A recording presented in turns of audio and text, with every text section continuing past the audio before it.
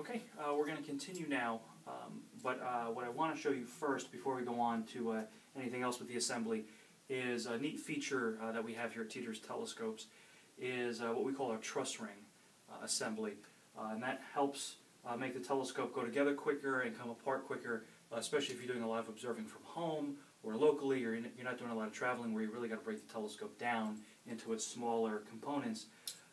If you can deal with essentially from uh, this wooden ring from here up to the top here as one piece, and then the lower boxes together um, as their own, you know, compact pieces here. Uh, if you could do that, then this system actually comes in very handy.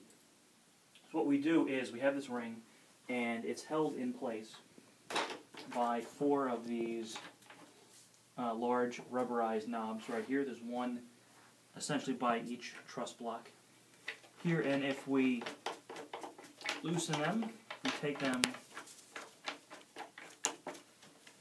pretty much out. Here, what we will see happen is that we'll be able to lift this entire assembly off of the box and keep it together as one solid piece rather than having to deal with the eight separate truss poles all the time. All these should be loose.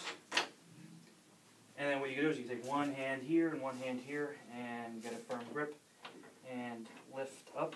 Just kind of tilt it a little bit and off it comes.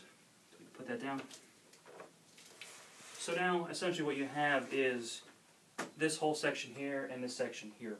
So if you have a large enough vehicle, you can actually transport the two, the two pieces of the telescope here as you see them sitting here, uh, which will get you set up and going a lot faster than having to mess with the eight truss poles and all the uh, little thumb screws uh, to lock everything in place.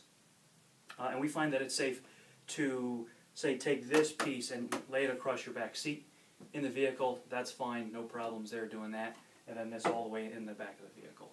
So uh, just a little innovative thing here that we do that hopefully uh, you'll find some use for uh, in the future.